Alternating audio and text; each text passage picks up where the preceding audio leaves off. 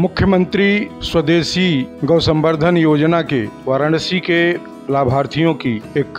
Lottery विधि से लाभार्थियों का चयन हुआ है और हमारे वाराणसी के मुख्य विकास अधिकारी के सामने ये हुआ है। तो मैं जानना चाहूँगा कि ये क्या था और कैसे हुआ? आज ये मुख्यमंत्री स्वदेशी गौ संवर्धन योजना, जिसका उद्देश्य नस्ल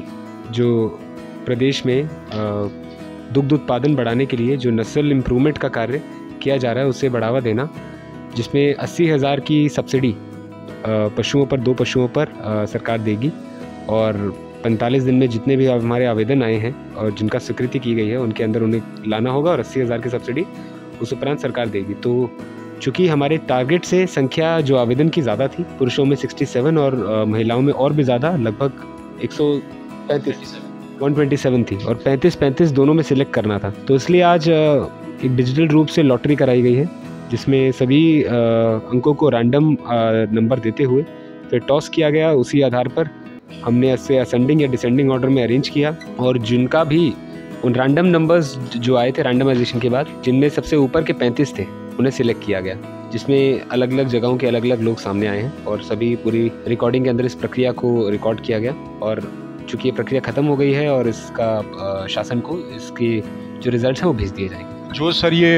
लाभार्थी इसमें चयनित हुए हैं तो इनको इसमें गायें कहाँ से जैसे बाहर के प्रदेश से किसी अदर, प्रदेश से खरीदना है तो ये प्रक्रिया इनको कितने दिन में पूरा करना होगा? ये 45 दिन के अंदर स्वीकृति पत्र प्राप्त होती है 45 दिन के अंदर इन्हें वो ये पूरी प्रोसेस पूरी करनी होगी जिसमें अच्छी नस्लों की गाय गिर साहिवाल इस तरीके से हरियाणा जर्सी इस तरीके से जो भी अच्छी नस्ल की गाय हैं उन्हें प्रदेश में लाना होगा अपने यहाँ लाना होगा और अपना जो बिल है वाउचर है सब प्रस्तुत करना होगा। पैंतालीस दिन के अंदर। और ये जो लाभार्थी हैं इनको गायें प्रदेश के बाहर जाके ही खरीदना पड़ेगा या कोई साधन ऐसा है कि जो यहाँ पे कोई मेला वगैरह बाहर से लगा के यार कुछ किया जा सकता नहीं बाहर से ही खरीद के बाहर से ही खरीद के लाना पड़ेगा। मैं फार्मर दी जर्नलिस्ट के लिए कैलाश सिंह वाराणसी से ये पूरी प्रक्रिया मेरे सामने हुई और इसे देख के बड़ा संतुष्टि हुआ कि ये बिल्कुल पारदर्शी ढंग से किया गया और पारदर्शी ढंग से इस